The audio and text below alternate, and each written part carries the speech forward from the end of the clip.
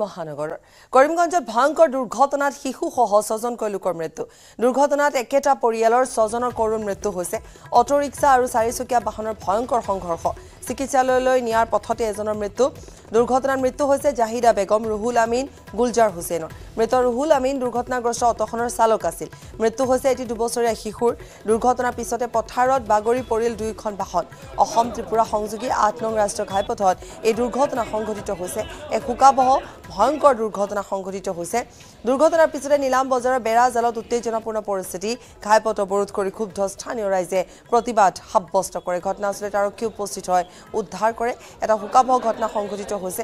আমি আকৌ এবাৰ কৈছোঁ যে অটো ৰিক্সা আৰু চাৰিচকীয়া বাহনৰ ভয়ংকৰ সংঘৰ্ষ আৰু এই দুৰ্ঘটনাৰ ফলত অটো ৰিক্সাখনত থকা আটাইকেইগৰাকীৰে মৃত্যু হৈছে বুলি জানিব পৰা গৈছে। ऑटो में चार लोग था और फोर व्हीलर में दो लोग था आ, ये जानकारी अभी मिली है कि ऑटो ओवरटेक कर रहा था और दोनों का हेल्प पोजिशन होने का है ये बहुत दुर्भाग्यजनक घटना हुई है एंड जैसे जैसे जानकारी मिलेगी वैसे हम आपको अपडेट करेंगे क्या स्थिति है ছজন মানুহ আছিলে ইনভলভ তিনিজনৰ ডেথ হোৱা বুলি গম পাইছোঁ বাকীখিনিও প্ৰিভিয়াছলি ইনভলভ আছে হস্পিটেল গৈছে ইফালে গুৱাহাটীৰ ৰূপনগৰত মৃতদেহ উদ্ধাৰ হৈছে। পংকজ বৈশ্য নামৰ এজন লোকৰ মৃতদেহ উদ্ধাৰ হোৱাৰ ঘটনাই চাঞ্চল্যৰ সৃষ্টি কৰিছে। ভাড়াঘৰৰ শোৱাপাতিত উদ্ধাৰ হৈছে পংকজৰ মৃতদেহ। নলবাৰী জাগাৰাত ঘৰ পংকজৰ বিগত চাৰি বছৰে ভাড়া কৰি আছিল শংকৰদেৱ পথত। ভাড়াঘৰৰ মালিকে হত্যা কৰাৰ অভিযোগ উত্থাপন কৰিছে পংকজৰ পৰিয়ালৰ লোকে। ঘৰৰ মালিক গকুল দৈমাৰীৰ বিৰুদ্ধে অভিযোগ উত্থাপিত হৈছে। পংকজ বৈশ্যৰ পৰা গকুলে চল্লিছ হাজাৰ টকা ঋণ লৈছিল। টকা ঋণ লোৱাক লৈ দুই পক্ষৰ মতানৈক্য হৈছিল। দেওবাৰে পংকজ আৰু পত্নীক মাৰ ধৰ কৰাৰো অভিযোগ উত্থাপিত হৈছে। চাৰি মাহৰ পূৰ্বে বিবাহপাশত আবদ্ধ হৈছিল পংকজ। ঘৰত কোনো নথকাৰ সময়তে এই ঘটনা সংঘটিত হৈছে।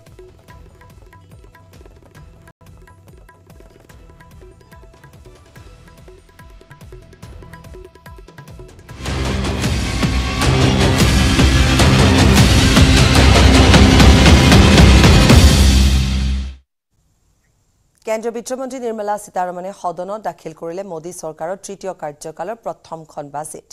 প্ৰধানমন্ত্ৰী নৰেন্দ্ৰ মোদী তৃতীয়টো কাৰ্যকালৰ প্ৰথমখন তথা একেৰাহে সপ্তমবাৰৰ বাবে বিত্তমন্ত্ৰী নিৰ্মলা সীতাৰমণে বাজেট দাখিল কৰে। নিৰ্মলা সীতাৰমণৰ এই বাজেট দাখিলে বিত্তমন্ত্ৰী হিচাপে মোৰাৰজী দেশাইৰ অভিলেখ ভংগ কৰিলে। ভূতপূৰ্ব বিত্তমন্ত্ৰী মোৰাৰজী দেশায়ে ক্ৰমাগতভাৱে পাঁচখন পূৰ্ণাংগ বাজেট আৰু এখন অন্তৱৰ্তীকালীন বাজেট দাখিল কৰিছিল।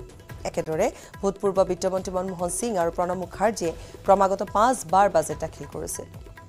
বিত্তমন্ত্ৰী নিৰ্মলা সীতাৰমণে এইবাৰৰ সাধাৰণ নিৰ্বাচনৰ পূৰ্বে ফেব্ৰুৱাৰীত অন্তৱৰ্তীকালীন বাজেট দাখিল কৰিছিল। সোমবাৰে আৰম্ভ হোৱা বাজেট অধিৱেশনৰ ঊনৈছটা কৰ্মদিনৰে বাৰ আগষ্ট পৰ্যন্ত চলিব। সোমবাৰে বাজেট অধিৱেশনৰ পূৰ্বে সংবাদমেল সম্বোধন কৰি এই বাজেটক অমৃতকালৰ বাজেট আখ্যা দিয়া হৈছে।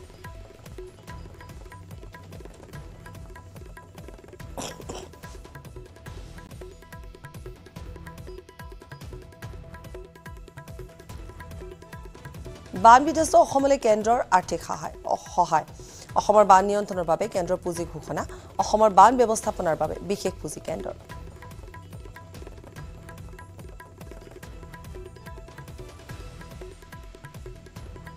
Assam.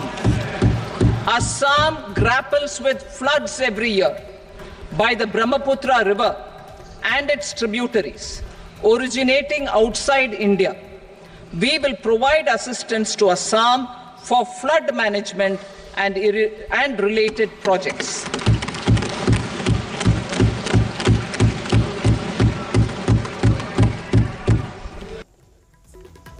আয়কৰ ষ্টেণ্ডাৰ্ড ডিডাকশ্যন পঁয়সত্তৰ হাজাৰ টকালৈ বৃদ্ধি। পূৰ্বে আয়কৰ ষ্টেণ্ডাৰ্ড ডিডাকশ্যন আছিল পঞ্চাছ হাজাৰ টকা তিনি লাখ টকালৈ সম্পূৰ্ণ আয়কৰ ৰেহাই তিনিৰ পৰা সাত লাখ টকালৈ পাঁচ শতাংশ আয়কৰ সাতৰ পৰা দহ লাখ টকালৈ দহ শতাংশ আয়কৰ দহৰ পৰা বাৰ লাখ টকালৈ পোন্ধৰ শতাংশ আয়কৰ বাৰৰ পৰা পোন্ধৰ লাখ টকালৈ বিছ শতাংশ আয়কৰ পোন্ধৰ লাখ টকাৰ ওপৰত ত্ৰিছ শতাংশ আয়কৰ।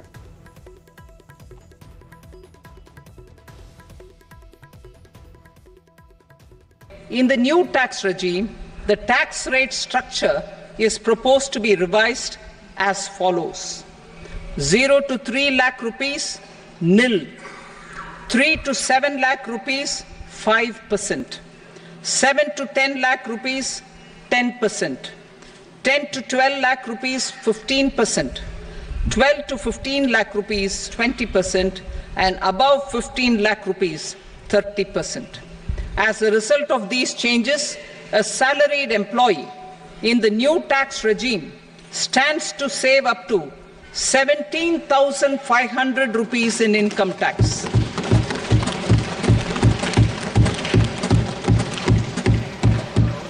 দুখীয়া মহিলা যুৱ আৰু কৃষকৰ বাবে বিশেষ গুৰুত্ব দেশৰ দৰিদ্ৰ শ্ৰেণীৰ লোকলৈ পি এম এ ৱাই আঁচনি তিনি কোটি ঘৰ যুৱ প্ৰজন্মৰ বাবে পাঁচটা নতুন নিয়োগ আঁচনি জনজাতিৰ আৰ্থ সামাজিক কল্যাণৰ বাবে আঁচনি এক কোটি যুৱক যুৱতীয়ে পাব ইণ্টাৰ্ণশ্বিপৰ সুবিধা ছাত্ৰৰ বাবে আদৰ্শ কৌশল ঋণ আঁচনি এক কোটি পৰিয়ালৰ ঘৰলৈ সৌৰ শক্তি প্ৰকল্প যুৱক যুৱতীৰ বাবে দুই লাখ কোটি টকা। We need to focus on four major castes, namely the Garib, Mahilaye, Yuva, and Annadata, the poor, women, youth, and the farmer. For Annadata, we announced higher minimum support prices a month ago for all major crops, delivering on the promise of at least a 50% margin over costs. Pradhan Mantri Garib Kalyan Anna Yojana was extended for five years, benefiting more than 80 crore people. Administrative actions for approval and implementation of various schemes announced in the interim budget are well underway. The required allocations have been made.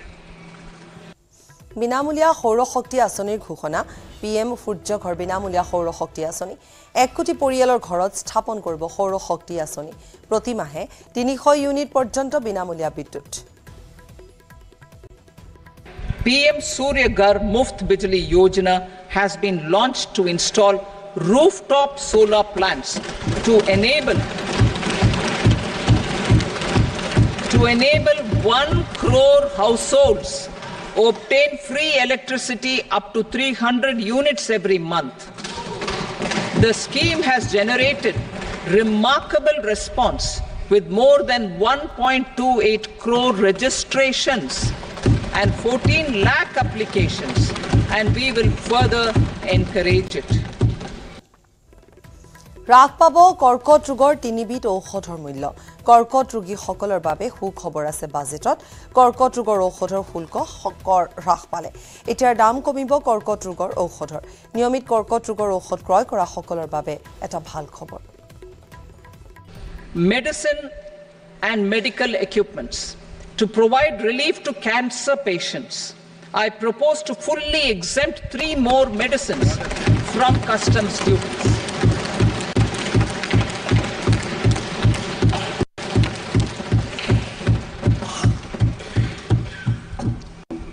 I also propose changes in the BCD on X ray tubes and flat panel detectors for use in medical X ray machines under the phased manufacturing program so as to synchronize them with the domestic capacity addition.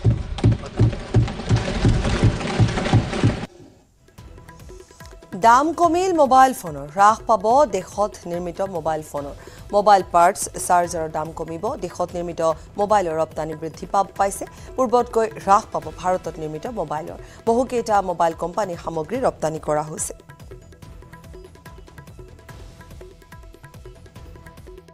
Mobile phone and related parts. With a threefold increase in domestic production and almost a hundredfold jump in exports of mobile phones over the last six years, the Indian mobile industry has matured. In the interest of consumers, I now propose to reduce the BCD on mobile phone, mobile PCBA, and mobile charger to 15%. To enhance domestic value addition in gold and precious metal jewelry in the country, I propose to reduce customs duties on gold and silver to 6% and that of platinum to 6.4%. দুহেজাৰ চৌবিছ পঁচিছ বৰ্ষৰ budget দাখিল বিত্তমন্ত্ৰী নিৰ্মলা সীতাৰমণৰ মোদী চৰকাৰৰ three point অ'ৰ প্ৰথমখন budget দাখিলৰ পিছতে দেশবাসীক সম্বোধন প্ৰধানমন্ত্ৰী নিয়োগ আৰু দক্ষতা বিকাশৰ বাবে প্ৰধানমন্ত্ৰীৰ পাঁচখন আঁচনি বাজেটত মুঠ নটা ক্ষেত্ৰত দিয়া হৈছে বিশেষ অগ্ৰাধিকাৰ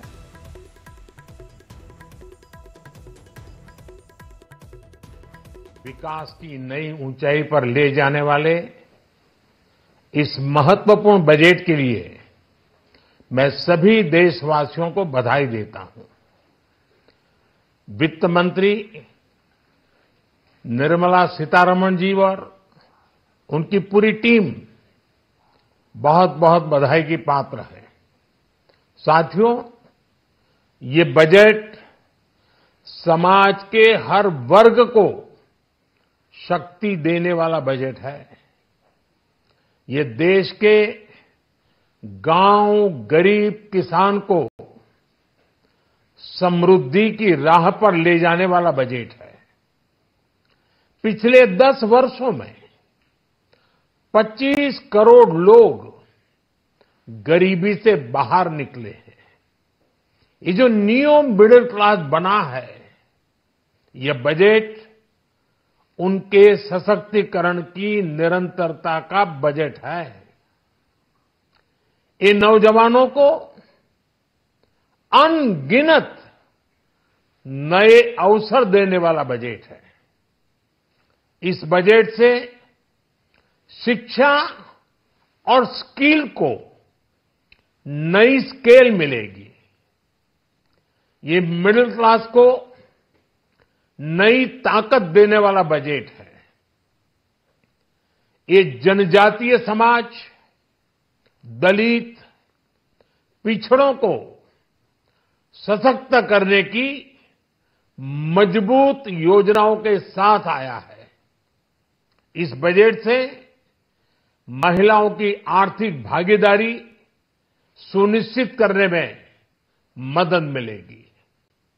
इस बजट से छोटे व्यापारियों एमएसएमईज को, यानी कि लघु उद्योगों का उसकी प्रगति का नया रास्ता मिलेगा बजट में मैन्युफैक्चरिंग पर भी बल है इंफ्रास्ट्रक्चर पर भी बल है इससे आर्थिक विकास को नई गति मिलेगी और गति को भी নিৰন্তৰতা মিলেগি কেন্দ্ৰীয় বাজেটে বিশেষ উপহাৰ দিলে অন্ধ্ৰপ্ৰদেশ আৰু বিহাৰক তৃতীয়বাৰৰ বাবে প্ৰধানমন্ত্ৰী হোৱাত গুৰুত্বপূৰ্ণ ভূমিকা লোৱা তথা কিং মেকাৰ অন্ধ্ৰপ্ৰদেশৰ চন্দ্ৰবাবু নাইডু আৰু বিহাৰৰ নীতিশ কুমাৰক সন্তুষ্ট কৰাৰ বাবে বৃহৎ অৰ্থনৈতিক পেকেজ ঘোষণা কৰা হ'ল সীতাৰমণৰ বাজেটত। সেই মৰ্মে অন্ধ্ৰপ্ৰদেশৰ ৰাজধানী চহৰখনৰ উন্নয়নৰ বাবে পোন্ধৰ হাজাৰ কোটি টকাৰ বিশেষ অৰ্থনৈতিক পেকেজ ঘোষণা কৰিছে কেন্দ্ৰীয় বাজেটত। ইয়াৰ উপৰিও অনাগত বছৰসমূহত অন্ধ্ৰপ্ৰদেশত ৰূপায়ণ কৰিবলগীয়া বিভিন্ন আঁচনিৰ বিপৰীতে আবণ্টন দিয়া হ'ব তিনি লাখ কোটি টকা। তাৰ ভিতৰত আছে বৃহৎ কোলাৱৰম জলসিঞ্চন প্ৰকল্প। আনহাতে আন এজন কিং মেকাৰ নীতিশ কুমাৰৰ বিহাৰকো দিয়া হৈছে বিশেষ বিত্তীয় উপহাৰ। বিহাৰৰ ৰাষ্ট্ৰীয় ঘাইপথ নিৰ্মাণৰ বাবে বাজেটত ধাৰ্য কৰা হৈছে ছাব্বিছ হাজাৰ কোটি টকা। বিহাৰৰ বান নিয়ন্ত্ৰণতো গুৰুত্ব দিয়া হৈছে। বিহাৰৰ বান নিয়ন্ত্ৰণৰ বাবে বাজেটত ধাৰ্য কৰা হৈছে এঘাৰ হাজাৰ পাঁচশ কোটি টকা। নালন্দাক পৰ্যটন কেন্দ্ৰ হিচাপে গঢ়ি তুলিবৰ বাবে বিশেষ পুঁজি ধাৰ্য কৰা হৈছে বাজেটত। নীতিশ কুমাৰৰ বিহাৰত চৌব্বিছশ মেগাৱাট শক্তি প্ৰকল্পৰ বাবে বাজেটত ধাৰ্য কৰা হৈছে অতিৰিক্ত একৈছ হাজাৰ চাৰিশ কোটি টকা। অকল সিমানেই নহয় বিহাৰত নতুন বিমান বন্দৰ চিকিৎসা মহাবিদ্যালয় আৰু ক্ৰীড়া আন্তঃগাঁথনি উন্নয়নৰ বাবেও ধাৰ্য কৰা হৈছে অতিৰিক্ত পুঁজি। এনেদৰেই প্ৰধানমন্ত্ৰী নৰেন্দ্ৰ মোদীৰ তৃতীয়টো কাৰ্যকালৰ প্ৰথমখন বাজেটত বিশেষ গুৰুত্ব দিয়া হ'ল টি ডি পি আৰু জে ডি ইউ শাসিত অন্ধ্ৰপ্ৰদেশ আৰু বিহাৰক। কিয়নো দুয়োটা দলৰ মুৰব্বী ক্ৰমে চন্দ্ৰবাবু নাইডু আৰু নীতিশ কুমাৰৰ সমৰ্থনৰ বাবে তৃতীয়বাৰৰ বাবে প্ৰধানমন্ত্ৰী হোৱাৰ পথ প্ৰশস্ত হৈছিল নৰেন্দ্ৰ মোদী। ইফালে মোদী চৰকাৰৰ তৃতীয়টো কাৰ্যকালৰ বাজেটক চৰম নিৰাশজনক আখ্যা দিলে বিৰোধী পক্ষই। বাজেটৰ বিৰুদ্ধে সৰব হ'ল প্ৰাক্তন বিত্তমন্ত্ৰী পি চিদাম্বৰম জয়ৰাম ৰমেশ শশী থাৰুৰ মমতা বেনাৰ্জী অখিলেশ যাদৱ গৌৰৱ গগৈকে ধৰি বিৰোধী পক্ষৰ জ্যেষ্ঠ নেতাসকল। আজি দাখিল কৰা বাজেটখন এন ডি এৰহে ভাৰতৰ নহয় বুলি কটাক্ষ কৰিলে বিৰোধীয়ে। এই বাজেটে দেশৰ ধনিক শ্ৰেণীকহে উপকৃত কৰিব বুলি সমালোচনা কৰি বিৰোধী পক্ষই কয় যে বাজেটত ভাৰতৰ বিত্তীয়ভাৱে শক্তিশালী কৰাৰ কোনো স্পষ্ট নিৰ্দেশনা নাই।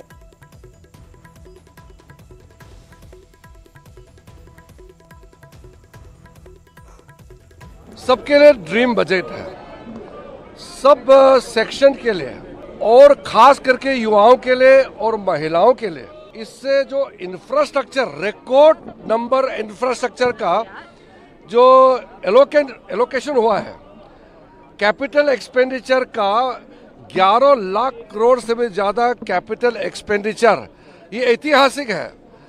और अलग अलग राज्यों के लिए जिस प्रकार से, खास करके जो ईस्टर्न इंडिया, जो इकोनॉमी के लिए थोड़ा सा पिछड़ा है, बिहार, झारखंड, वेस्ट बंगाल उड़ीसा आंध्र प्रदेश, और साथ साथ में नॉर्थ ईस्ट के लिए जो भी आज बजट में अनाउंसमेंट हुआ है, मुझे लगता है कि ये ईस्टर्न इंडिया एक इकोनॉमिक हब के रूप में उभर के आएगा और बहुत बड़ा इंफ्रास्ट्रक्चर का काम अभी बिहार से लेकर के झारखंड आंध्र प्रदेश और वेस्ट बंगाल नॉर्थ ईस्ट का होने वाला है। और विशेष रूप से जो स्किलिंग के लिए और एम्प्लॉयमेंट जनरेशन के लिए जो अनाउंसमेंट हुआ है, वो ऐतिहासिक है।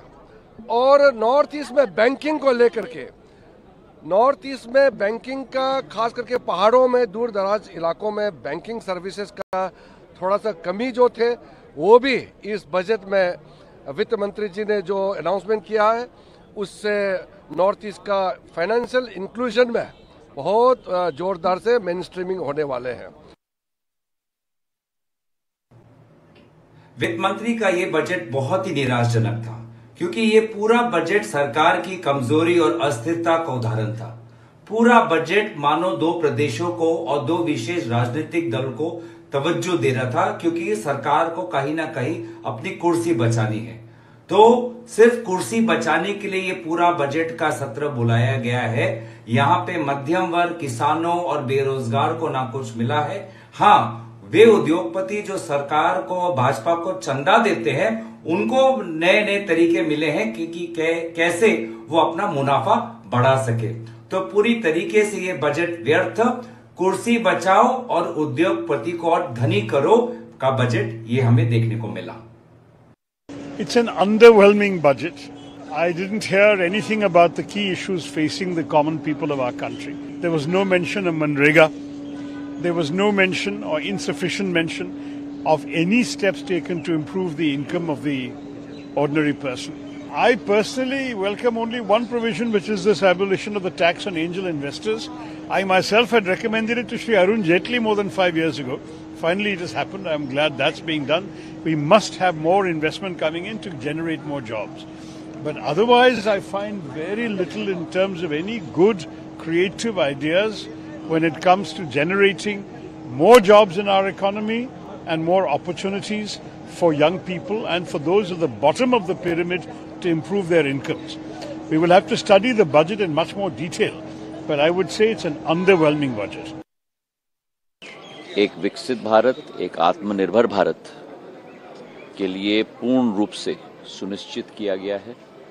प्रधानमंत्री जी की जो सोच है कि अमृत काल से शताब्दी काल का सफ़र भारत का निश्चित रूप से एक विकसित भारत का रूप धारण करे, वो इस बजट का मुख्य अंश है। हर एक क्षेत्र, चाहे वो कृषि हो, ग्रामीण विकास हो, अधोसंरचना हो, सिंचाई हो शिक्षा हो, स्वास्थ्य हो और भविष्य के भी जो रिफॉर्म्स हमें लाने हैं, इन सभी चीज़ों को मद्देनजर रखते हुए बजट का पूर्ण रूप धारण हुआ है। तो आमदनी इतनी ज़्यादा बढ़ी है और खर्चा इतना कम है उसके मुकाबले में। इसका मतलब क्या है? कि इकोनॉमी और कॉन्ट्रैक्ट होगी। और कॉन्ट्रैक्ट होगी तो इसका मतलब है समस्याएँ जनता की और बढ़ेगी। सबसे बड़ी बात यह है कि रोज़गार बढ़ाने के लिए जो योजना ये बनाए कि इंसेंटिव देंगे आप एम्प्लॉयर को, यानी चार साल का आपका प्रोविडेंट फंड जो देना होगा, वो एम्प्लॉयर को दिया जाएगा। अब इससे थोड़ी नौकरियाँ बढ़ेगी। एम्प्लॉयर को आप सब्सिडाइज कर रहे हो, यानी उसके मुनाफे बढ़ेंगे। अरे नौकरियाँ बढ़ाना है तो इकोनॉमिक एक्टिविटी को बढ़ाना पड़ेगा ना। और वो तभी संभव है जब सरकारी निवेश बढ़ेगा। तो ये बजट फाइनली सब कॉन्ट्रैक्शनरी बजट है। इसे सिर्फ़ फ़िज़िकल डिफिसिट को कंट्रोल किया जा रहा है। देश की जनता की समस्याओं को हल करने की जगह।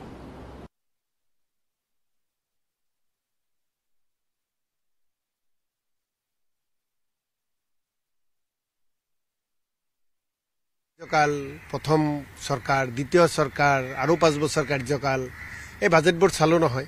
এ ফৰ আছামৰ কথা কয় কিন্তু বাজেটৰ পৃষ্ঠাৰ মাজততো সেইবোৰ নাথাকে। বানপানী হৈ গ'ল। মানুহ মৃত্যু হ'ল জীৱন সম্পত্তি নষ্ট হ'ল। কেন্দ্ৰৰ পৰা এজন মন্ত্ৰী কোনো এজন বিষয়ববীয়া ইয়াত আহিছে নেকি? বাজেট যেতিয়া কৰে বাজেট যেতিয়া দাখিল কৰে তাৰ পূৰ্বে বহুত প্ৰস্তুতি চলায়। বিভিন্ন ডিপাৰ্টমেণ্টৰ লগত মিটিং হয়। ডাঙৰ প্ৰস্তুতি এটা হয় বাজেট কৰোঁতে। সেই প্ৰস্তুতি চলাবলৈ যাওঁতে অসমৰ এই ভয়াৱহ বানপানীৰ পৰিস্থিতি অধ্যয়ন কৰিবলৈ কেন্দ্ৰৰ পৰা কোনো মন্ত্ৰী কোনো বিষয়ববীয়া যেতিয়া অহা নাই তেতিয়া ভাবি লওক বাজেটত কি দিব পাৰে। মই এতিয়ালৈকে দেখা নাই। বিহাৰৰ কাৰণে ডাঙৰ উপহাৰ। অসমৰ কাৰণে শূন্য। বাজেটক লৈ বদৰুদ্দিন আজমলে প্ৰতিক্ৰিয়া ব্যক্ত কৰিছে। বাজেটে আমাক নিৰাশ কৰিছে। বানৰ বাবে বিশেষ পেকেজ বিচাৰিও একো পোৱা নগ'ল বাজেটখনত নিৰ্বাচনমুখী আৰু ললিপপ আখ্যা দিছে আজমলে जब तक के फ्लड एंड इरोशन नहीं बंद किया जाएगा आसाम की कोई तरक्की मुमकिन नहीं है करोड़ हाँ करोड़ रुपया सालों में इसके अंदर बर्बाद हो जाते हैं फ्लड बह के सब ले जाता है और बड़े बड़े ऑफिसरों को और मिनिस्टरों को ये करोड़ों रुपया मारने का मौका मिलता है फ्लड जब आता है तो हमारे आसाम के मिनिस्टर लोग खुश हो जाते हैं। बाहर का प्रोग्राम बनाते हैं। फैमिली को लेके जाने का पैसा निकलेगा। क्योंकि जो पैसा मैं दूँगा, वो फ़ील्ड में लगना नहीं है, क्योंकि कोई उसका प्रूफ नहीं निकाल सकता और वो सारा पैसा उन लोगों के जेब में और ऑफिसरों के जेब में जाएगा। तो इसलिए मैंने सबसे बड़ी समस्या इसको जो है बोला और बोलने के बाद हमारा डिमांड ये था कि इसको वांग नदी को जैसे नेहरू जी ने बंद कराया था। उस प्लान के साथ जब चाइना बंद कर सकता है तो हम लोग क्यों नहीं कर सकते वाई शुड वी नो মুখ্যমন্ত্ৰীলৈ আজমলৰ বিশেষ আহ্বান ৰাজ্যত বৃদ্ধি হোৱা সংখ্যালঘুক গুলীয়াই মৰাৰ আহ্বান এছ পিসকলক নিৰ্দেশ দিয়ক আৰু গুলী কৰি দিয়ক। না ৰেহেগা বাজ না বাজেগি বা চুৰি সংখ্যালঘুৰ কথা কোৱা মুখ্যমন্ত্ৰীক সকিয়নি। সংখ্যালঘুৰ কথা কৈ থাকিলে ৰাজ্যত চৰকাৰ সলনি হ'ব। ৰাজ্যত কংগ্ৰেছ চৰকাৰ আহিব ইণ্ডিয়া চৰকাৰ হ'ব। মুছলিম বিৰোধী কথা কোৱাৰ বাবে এশ আসন কমিল। একেখিনি কথাৰ বাবে উত্তৰ প্ৰদেশতো কমিল আসন। মুখ্যমন্ত্ৰীক মানৱীয়তাৰ কথা কোৱাৰ আহ্বান। সাংসদ ৰকিবুল হুছেইনকো তীব্ৰ কটাক্ষ। ৰকিবুলে ধুবুৰীবাসীৰ পেটত গুৰ মৰাৰ অভিযোগ।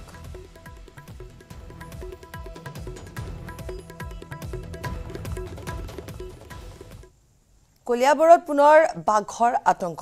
সোণাৰী কামাখ্যা অঞ্চলৰ পিছত এতিয়া বামুণী ঢেকীয়াপতীয়া বাঘৰ মুক্ত বিচৰণ। দুটা পোৱালীসহ এজনী মাইকী বাঘে বিচৰণ কৰিছে বামুণী শাকমুঠীয়া অঞ্চলত। ঢেকীয়াপতীয়া বাঘে নিধন কৰিছে কেইবাটাও গোধন বাঘৰ মুক্ত বিচৰণত আতংকিত হৈ পৰিছে অঞ্চলবাসী। ইতিমধ্যে অঞ্চলটোত বন বিভাগৰ লোক উপস্থিত হৈ নিৰীক্ষণ কৰিছে বাঘৰ গতিবিধি। বাঘটো ক'ব নোৱাৰো কেইটা এতিয়া ধৰিছে এটা মানুহে চাইছে তিনিটা বোলে। আমাৰ গৰু সেইটো পোৱালিটো আক্ৰমণ কৰিছে দৌৰি আহিছে দৌৰি অহাৰ কাৰণে গম পাইছোঁ। কি হ'ল বোলে বোলে দাঁতত কামুৰি দিলে। তাৰপিছত আৰু আৰু এটা মাৰি পেলালে। তাৰ চবেই চালে যে আমাৰ গৰু অহা নাই অহা নাই। গৈছে বাটত গৈ পেলাই চাইছে গৰু মাৰি পেলাই দিছে। তো সেইকাৰণে গম পালোঁ বাঘতে ধৰিছে। যদিও আমি একো প্ৰত্যক্ষ কৰিব নোৱাৰিলোঁ বাট গৰু মাৰা বুলি আমি ইয়াত হেৰি পাইছোঁ প্ৰমাণ পাইছোঁ। চ' সেইটো কাৰণে আমাৰ ষ্টাফ এটহল দি আছে। আৰু এইটো যিহেতু আমাৰ এইটো কাজিৰঙাৰ লগতে লাগি আছে বাক্সা ৰিজাৰ্ভ ফৰেষ্ট এইটো কাজিৰঙাৰ ভিতৰতে পৰে এতিয়া। ত' তাৰ পৰা ওলাই অহা বুলি আমি সন্দেহ কৰা হৈছে। আৰু আমি গধূলি আমি এটা অপাৰেশ্যন কৰিম টাইপ অপাৰেশ্যন এইটো আকৌ ভিতৰলৈকে আকৌ পঠাই দিয়াৰ কাৰণে জ্যেষ্ঠ সাংবাদিক হাইদৰ হুছেইন গুৰুতৰভাৱে অসুস্থ। গুৰুতৰভাৱে অসুস্থ হাইদৰ হুছেইনক জি এম চি এইচত ভৰ্তি কৰোৱা হৈছে। পাঁচদিন আই চি ইউত থকাৰ পিছত কেবিনলৈ স্থানান্তৰ হুছেইনক। ঊনৈছ জুলাইত বাথৰুমত পৰাৰ পিছৰে পৰা অসুস্থ হৈ আছে হাইদৰ হুছেইন। সম্প্ৰতি হাইদৰ হুছেইন বিপদমুক্ত বুলি জনাইছে চিকিৎসকে। বিধায়ক অখিল গগৈয়ে হাস্পতালত স্বাস্থ্যৰ বুজ ল'লে হাইদৰ হুছেইনৰ। জি এম চি এইচত আন কেইবাগৰাকীও ব্যক্তিয়ে হাইদৰ হুছেইনৰ স্বাস্থ্যৰ বুজ ল'লে।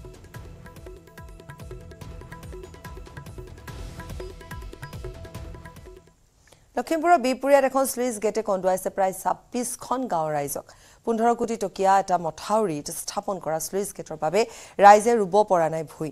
উল্লেখযোগ্য যে কিছুদিনৰ পূৰ্বে বিহপুৰীয়াৰ ভলুকাগুৰিত থকা শ্লুইচ গেটৰ মাজভাগ বহি গৈছিল। জলসম্পদ বিভাগে শ্লুইচ গেটৰ বহি যোৱা অংশত মাটি ভৰাই পুতি দিছিল যাৰ ফলত যোৱা এমাহে জলমগ্ন হৈ আছে বৃহত্তৰ অঞ্চলটো। আগবঢ়াম সঞ্জীৱ লাহনৰ প্ৰতিবেদন। আমি আজি এটা এনেকুৱা ধৰণৰ আঁচনি দেখুৱাম যে যিটো আঁচনিয়ে নেকি ৰাইজৰ হিতৰ বিপৰীতে ৰাইজক অন্যায় কৰি আছে। জলসম্পদ বিভাগৰ জলসম্পদ বিভাগৰ পোন্ধৰ কোটি টকীয়া এটা মাথাউৰি প্ৰথমে দেখুৱাই লৈছোঁ চাওক। এইটো এই বছৰ সম্পূৰ্ণ কৰা লখিমপুৰ জিলাৰ বিহপুৰীয়া সমষ্টিৰ সোৱণশিৰিৰ ভলুকাগুৰিত মই বৰ্তমান উপস্থিত আছোঁ। ভলুকাগুৰিত থকা সোৱণশিৰি নদীৰ ওপৰত দিয়া মাথাউৰি। এই মাথাউৰিটোৱে মাথাউৰিটো এতিয়া বৰ্তমান এই মাথাউৰিটোৱে বৰ্তমান এতিয়া ৰাইজক মাথাউৰিটোৰ বাহিৰত থকা ৰাইজক সহায় কৰাৰ বিপৰীতে ৰাইজক সাংঘাতিক এটা বিপদত পেলাই আছে। এই ভৰ বাৰিষাৰ সময়ত এই অঞ্চলটোৰ প্ৰায় চৌবিছখন পৰা ছাব্বিছখন গাঁৱৰ ৰাইজে এতিয়ালৈকে কিন্তু এই ভৰ বাৰিষাত এগোচো মাটি ৰুব পৰা নাই তেওঁলোকৰ ভূঁই ৰুব পৰা নাই। মোৰ লগত স্থানীয় লোক আছে তেওঁলোকে উল্লেখ কৰিব তেওঁলোকৰ কেনেকুৱা ধৰণৰ সুবিধা অসুবিধা ইত্যাদি হৈছে। যি গম পাইছোঁ আপোনাৰ ওচৰলৈকে আহিছোঁ যে কিমানখন গাঁৱৰ ৰাইজে এইবাৰ ভূঁই ৰুব পৰা নাই কেৱল এই শ্লুজেটখনৰ কাৰণে। প্ৰায় ছাব্বিছখন গাঁও এতিয়ালৈকে ভূঁই ৰুব পৰা নাই। আৰু আমি জলসম্পদ বিভাগক বাৰে বাৰে আপত্তি কৰি আছোঁ যে বানপানী যোৱাৰ লগে লগে প্ৰয়োজন সাপেক্ষে ই এন ডিটো ভাঙি দিয়ক। আৰু চুইচ গেটটো ভাঙি পৰ্যাপ্ত পানী মানে নদীলৈ যোৱাৰ ব্যৱস্থা কৰিব আৰু এটা কথা সুধোঁ যে কিছুদিনৰ পূৰ্বে কেইদিনমানৰ আগতে যেতিয়া পানী বাঢ়িছিলে সোৱণশিৰিত এই শ্লুইচ গেটখনৰ মাজভাগতে বহি গৈছিলে। অৰ্থাৎ নিৰ্মাণত বিসংগতি হৈছিলে চাগে শ্লুইচ গেটখন কাৰণ এবছৰে পাৰ নহ'ল। এবছৰ পাৰেই নহ'ল শ্লুইচ গেটখন মাজতে বহি গুচি গ'ল। আৰু এই মাথাউৰিটো আছিলে পোন্ধৰ কোটি টকীয়া মাথাউৰি। সেই পোন্ধৰ কোটি টকাৰ টকাৰ ভিতৰতে এই শ্লুইচ গেটখন স্থাপন কৰিছিলে নহয় জানো? হয়। গতিকে আমি বাৰে বাৰে জলসম্পদ বিভাগক এটা কথাই কৈছিলোঁ যে এইটো পৰ্যাপ্ত পানী টানিব নোৱাৰিব এই চুইচ গেটটোৰ লগত। গতিকে এইটো কিবা কয় এইটো বক্স কালভাৰ্ট হিচাপত মানে বস্তুটো বনাব লাগে তেতিয়াহে পৰ্যাপ্ত পানী টানিব টানিব পাৰিব। কাৰণ এইটো কন্দলি পকাদল গন্দিয়া বঙালমৰা ইত্যাদি কৰি প্ৰায় ছাব্বিছখন দুনাগুৰিৰ পৰা ধৰি ছাব্বিছখন হেৰিয়াৰ পৰা মানে পানীটো অকল এই হেৰিয়েদি মানে যাবলগীয়া হয়। হয়। এতিয়া এখন পাৰ এতিয়া বহি গৈছে আৰু তাৎক্ষণিকভাৱে মেৰামতি ব্যৱস্থা নকৰিলে নেকি? তাৎক্ষণিকভাৱে মেৰামতিৰ ব্যৱস্থা ইহঁতে কৰিছিলে যদিও কিন্তু তল পালে বস্তুটো পাত মেলি গ'ল। গতিকে পাত মেলাৰ লগে লগে বস্তুটো বহি গৈছে। বহি যোৱাৰ পিছত মাত্ৰ দুটা গেটেদি এতিয়া পানী যাবলৈ সক্ষম হৈছে বাকী চাৰিটা গেট বন্ধ হৈ গৈছে।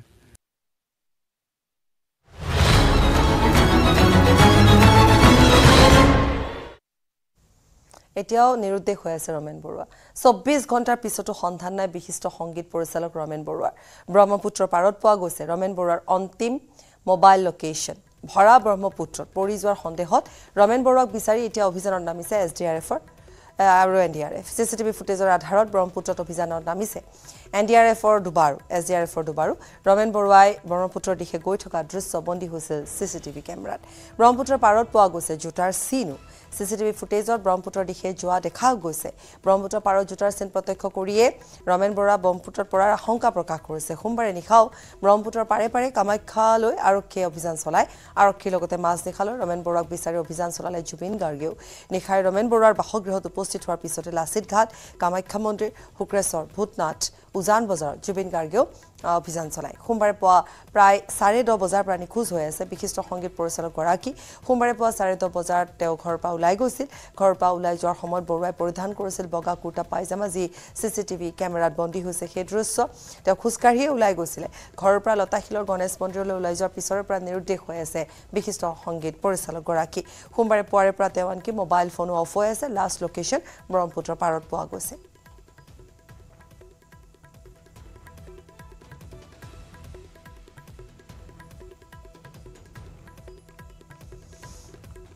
এতিয়ালৈকে আমি একো ক'ব পৰা অৱস্থাত নাই। লাষ্ট তেখেতৰ এটা ভিডিঅ' ফুটেজ দেখা গৈছিলে যিটো হাইকোৰ্ট বিল্ডিঙৰ কিনাৰেদি যিটো ৰাস্তা নদীৰ ফালে গৈ আছে সেইফালে খোজকাঢ়ি যোৱা হাতত পলিথিনৰ এটা মোনা লৈ। সেইটোৱে লাষ্ট তেখেতৰ দেখা গৈছে। সেইটো যোৱাকালি যোৱাকালি ৰাতিপুৱা দহটা আঠৰ ফুটেজ আছিলে। আৰু তেওঁৰ ফোনটো যিটো লাষ্ট লোকেশ্যন দেখুৱাইছে হাইকোৰ্ট বিল্ডিঙৰ ওচৰতে মানে ফোনটো ছুইচ অফ হোৱা দেখুৱাইছে। তাৰ বাদে বেলেগ এতিয়ালৈকে একো তথ্য উভতি অহাৰ ফুটেজ কোনো ধৰণৰ দেখা নাই। আহ, উভতি অহাৰ ফুটেজটো আমি দেখা নাই কিন্তু বেলেগ ৰাস্তাও আছে। তাৰ পৰা ওলাই যাবলৈ গতিকে সেইফালেদিও ওলাই গুচি যাব পাৰে। গতিকে আমি নিশ্চিতভাৱে একো ক'ব পৰা অৱস্থাত নাই। কিন্তু আমাৰ ফালৰ পৰা যিখিনি আমি গুৰুত্ব সহকাৰে কামখিনি কৰিব লাগে তেখেতক বিচাৰি উলিয়াবলৈ সেই গোটেইখিনি কাম আমি হাতত লৈছোঁ। মুখ্যমন্ত্ৰী ডাঙৰীয়াই আমাক নিৰ্দেশ দিছে আৰু তেখেতে খবৰো লৈ আছে যে কি কি ব্যৱস্থা লোৱা হৈছে কাৰণ তেখেত আমাৰ সাংস্কৃতিক জগতৰ এজন পুৰোধা ব্যক্তি। গতিকে তেখেত হঠাৎ নোহোৱা হোৱাটো আমাৰ কাৰণে এটা ডাঙৰ মানে চেলেঞ্জ কি হৈছে ঘটনাটো বা ক'ত গ'ল সেইটো বিচাৰি উলিয়াবলৈ আমি যৎপৰোনাস্তি চেষ্টা কৰিম। এনেকৈ হোৱা নাই মেণ্টেলি এইটো সদায় যিটো ৰেগুলাৰ ৰুটিন ৰমেন্দাৰ গণেশ মন্দিৰলৈ যায় প্ৰেচিডেণ্ট হিচাপে সেইটোৱে ভাবিছোঁ ওলাই গৈছে। মই দুপৰীয়াহে গম পাওঁ যে ৰমেন্দাৰ যেতিয়া ফোন কৰিছে ৰমেন্দা নিৰুদ্দেশ হোৱা বুলি গণেশ মন্দিৰলৈ যোৱা নাই। এই তেতিয়াহে গম পাওঁ মই। মই তেতিয়া লাইটলি লৈছোঁ বিভিন্ন ঠাইত বিচাৰকৰ কাৰণে মাতে ক'ৰবাত কম্পিটিশ্যন মিউজিক কম্পিটিশ্যনবিলাকত মাতে। তেতিয়া ঘৰত কৈ নাযায় আৰু মানে তাতে ভাত পানী খাই গধূলি আহেগৈ। তাৰপিছত তেতিয়াহে গম পাওঁ গামোচা তামোচা শৰাই চৰাই কিবা কিবি লৈ আহে যে তেতিয়া গম পাওঁ যে ক'ৰবাত বিচাৰকৰ কাৰণে গৈছিলে কিবা অসন্তুষ্টিৰ মনেৰে গৈছে আপুনি আমাক? কিছু সময় আগতে আপুনি যে কৈছে অলপ মনত কিবা অসন্তুষ্টি লৈ ঘৰৰ পৰা ওলাই গৈছে আৰু কি সেইখিনি কথা কৈছেনে আপুনি? অসন্তুষ্টি এটা নিশ্চয় আছে এনেই এটা নৰ্মেল মানুহটো আৰু ওলাই যাব নোৱাৰে ঘৰৰ পৰা। নিশ্চয় কিবা এটা অসন্তুষ্টি থাকিব লাগিব। পুলিচক কৈছে কথাখিনি? মই কৈছোঁ কৈছোঁ কমিশ্যনাৰক কৈছোঁ দিগন্ত দিগন্ত বৰাক কৈছোঁ। কি অসন্তুষ্টি কাৰণটো নিশ্চয় কৈছে অকণমান যিটো কৈছোঁ মেণ্টেলি অকণমান হেৰি কিবা অকণমান হেৰি হৈছে নেকি অকণমান দুখ পাইছে কিবা এটা তেনেকুৱা ধৰণৰ কৈছোঁ আৰু। দুখ পাই পেলাই ওলাই গৈছে। মই যিমান দূৰ জানো। মই জানো যে যিমান দূৰ জানো অকণমান দুখ পাইছে খুব এটা সেইটো মই জানো ভালকৈ সেইকাৰণে ওলাই গৈছে। পাৰিবাৰিক কথা। কৈছোঁ মই তাতকৈ বেছি নকওঁ এতিয়া সেইবুলি কৈছোঁ তেওঁ পাৰিবাৰিক কথা এইটো। মুখ্যমন্ত্ৰীগৰাকীও গুৰুত্ব সহকাৰে লৈছে বিষয়টো। কালি চি পিলৈ ফোন কৰিছে মুখ্যমন্ত্ৰীয়ে। কৈছে ভালকে যাতে হয় আৰু যাতে ৰমেন্দাক ঘূৰাই আনিব পাৰে তাৰ কাৰণে যিমান ভাল- পাৰে। ভাল কথা এইটো। আমি চি চি কেমেৰাৰ ভিজুৱেলটো আমি আহি পেলাই তেখেতৰ পৰা চাইছোঁ। আমাৰ অফিচাৰৰ পৰা আহি পেলাই ভিজুৱেলটো আমি তেখেতৰ পৰা চাইছোঁ। চাওঁতে তেখেতে খোজকাঢ়ি আহি আছিলে। আহি থাকোঁতে থকা পজিশ্যনটোহে আমি দেখিছোঁ। কিন্তু ইয়াত যে পৰি গৈছে সেই পজিশ্যনটো আমি চি চি কেমেৰাত পোৱা নাই। ভৰি খোজটো কোনে কৈছে তেখেতৰ হয় বুলি? ভৰি খোজটো জনামতে ইয়াতে জোতা আছে। জোতা থকাটো সত্য বুলি কৈছে।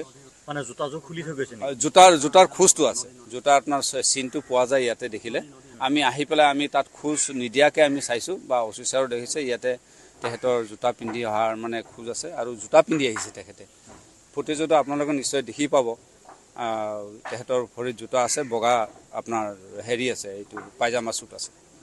পৰি যোৱাৰ সন্দেহ কৰিছে। সেইটো সন্দেহ আমি ব্যক্ত কৰিছোঁ যিহেতু আমি নিজে চকুৰে দেখা নাই।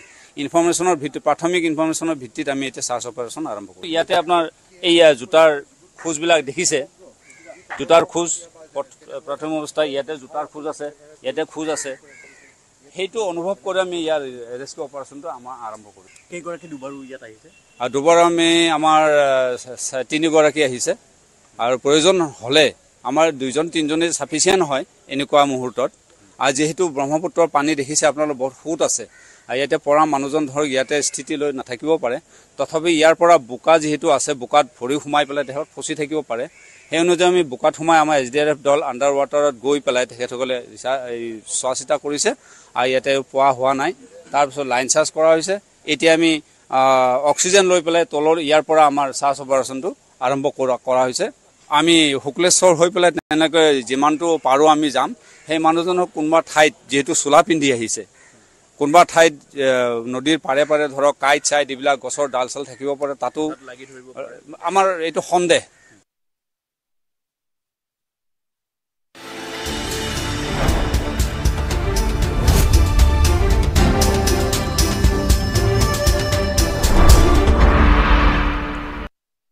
এইটো